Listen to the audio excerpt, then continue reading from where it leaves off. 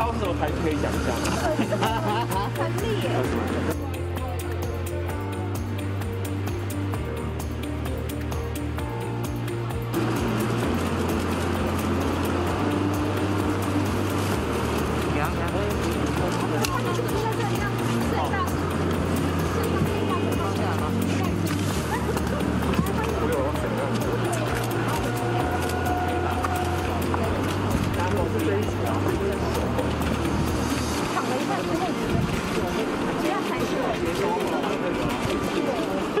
那因为废弃的床垫是属于大型垃圾，饭店没有办法使用，对，那也没有办法烧毁，所以我们有请专业的回收厂商来针对床垫的部分做回收、做烧毁。请问是收费用吗？呃，有有的，我们有请回收厂商，我们有支付费用给厂商的，最大多呃，一万五。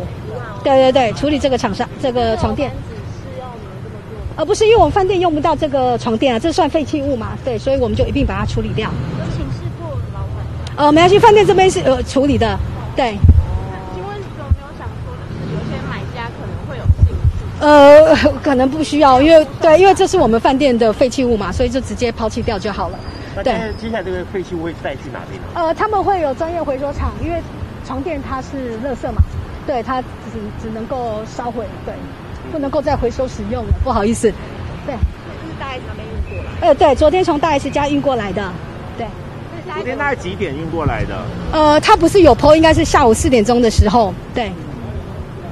以上。先通知饭店这边说他会把床垫运过来。哎，是的，没错，对，所以我们收到通知之后，对，所以今天才做床垫的后续处理。呃，稍后会交由厂商来做后续的处理。对，那因为这个床垫比较大，所以没有办法就是直接再走，对，所以请厂商在这边做处理。预预计应该这两天，这个要按照那个厂商的排程来做处理，这个不是饭店能够决定的。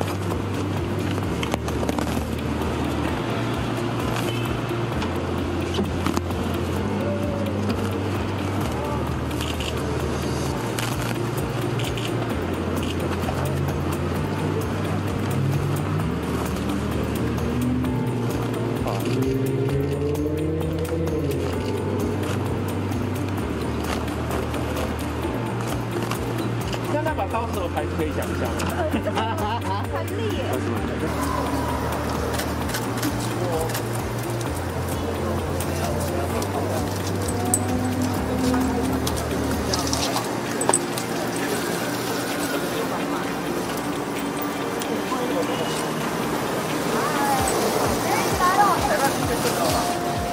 买。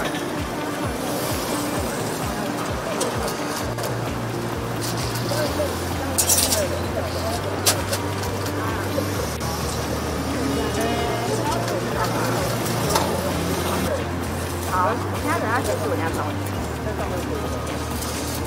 好，好，谢谢，